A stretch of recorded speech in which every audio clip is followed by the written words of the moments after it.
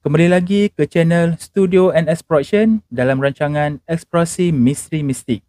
Assalamualaikum. Saya Nazri Saleh, hos anda. Hari ini, saya akan menceritakan tentang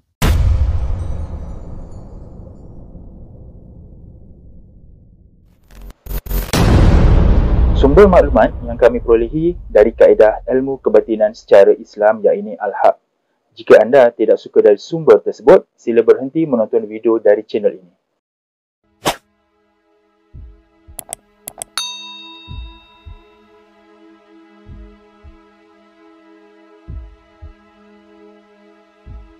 Bukit Jugra ialah sebuah penempatan yang terletak di daerah Kuala Langat, Selangor, berhampiran Pulau Keri, Kancung Darat, Banting, Jenjarum, dan Sungai Buaya. Jugra menghadap ke Selat Melaka dan berdekatan muara Sungai Langat. Jugra meliputi kawasan Bukit Jugra, Pantai Kelanang, Kampung Sungai Arak dan Kampung Codoy.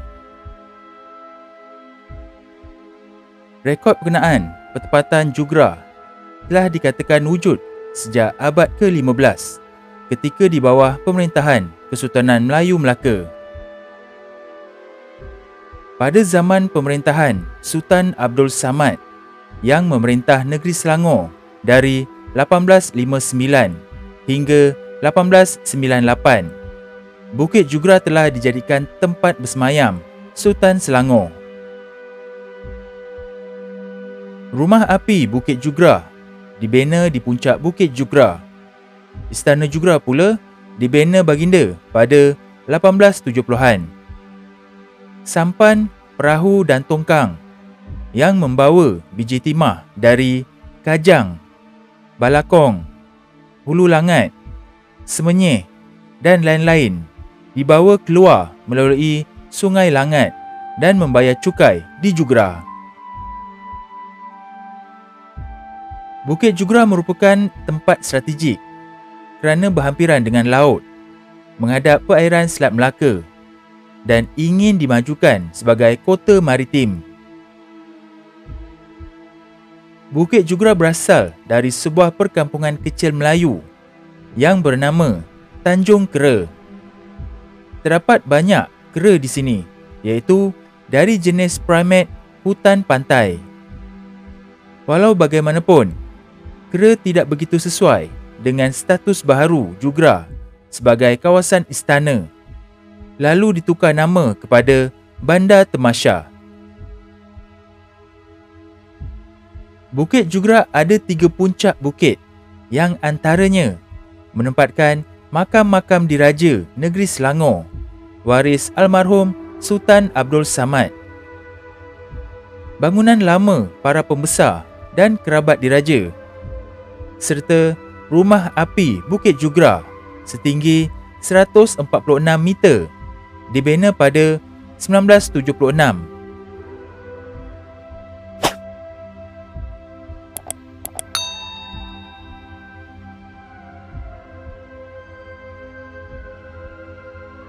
Makam Diraja Jugra merupakan sebahagian dari Bukit Jugra yang telah dipilih sebagai kawasan pemakaman keluarga Diraja Selangor pada sekitar tahun 1886. Kawasan ini juga dikenali sebagai pemakaman diraja negeri Bukit Jugra dan secara keseluruhannya, kawasan pemakaman ini berpagar seluas 5 ekar. Kawasan pemakaman diraja ini terdapat satu kompleks bangunan berkubah yang menempatkan makam Sultan Abdul Samad Ibni Almarhum Tengku Abdullah, Sultan Selangor keempat yang telah mangkat pada bulan Februari 1898. Baginda memerintah Selangor dan berpusat di Jugra dari tahun 1859 hingga 1898. Manakala makam-makam lain yang telah terletak di bahagian luar kompleks antaranya adalah makam almarhum Tengku Muda Musa makam almarhum Tunku Alfa iaitu puteri almarhum Sultan Abdul Samad. Almarhum Tunku Jaafar Almarhum Tengku Yaakob Almarhum Tunku Maharum Almarhum Raja Berkat. Almarhum Tengku Mutih. Dan Yang Mulia Raja Kahar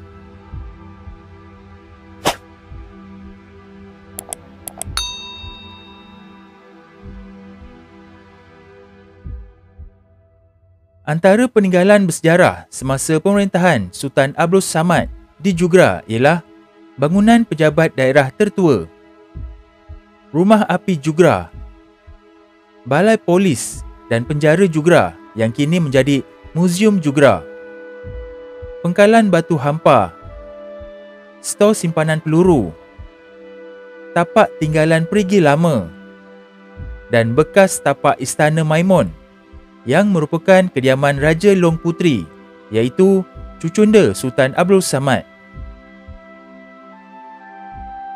Selain dari itu, Bukit Jugra tidak terlepas dari kisah-kisah misteri yang menjadi bualan masyarakat dari dulu hingga kini.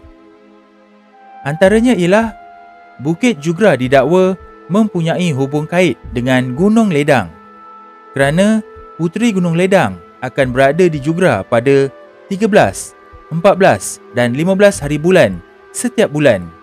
Dan dikatakan juga perhimpunan keseluruhan para wali-wali Allah di seluruh semenanjung juga dijalankan di Bukit Jugra dan Gunung Ledang. Dikatakan juga Bukit Jugra di zaman dahulu sewaktu Lanon bermaharaja lela di Selat Melaka. Segala hasil rampasan dan rompakan para Lanon itu akan dibawa ke Jugra untuk disimpan di satu tempat yang telah dibina khas oleh para Lanon merupakan sebuah terowong bawah tanah.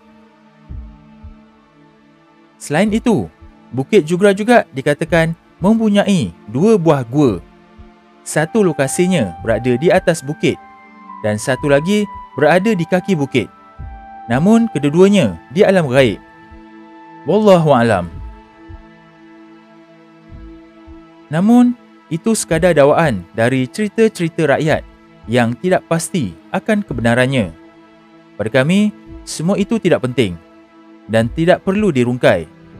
Kerana tujuan kami ke sini sekadar menziarah makam-makam sahaja yang boleh mengingatkan kita kepada kematian dan menginsafkan diri kita.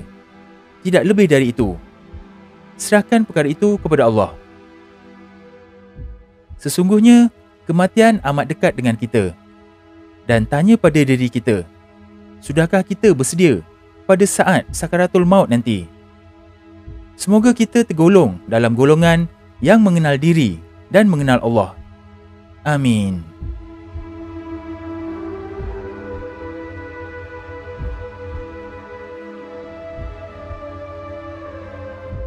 Jom sertai ahli channel Studio NS Production dalam rancangan eksplorasi misteri mistik ini dengan klik butang join di bawah video ini atau klik link pada bahagian description. Ada empat package yang disediakan. Penerangan lebih lanjut akan diterangkan apabila anda klik butang join sekarang. Sokongan anda sangat membantu channel ini.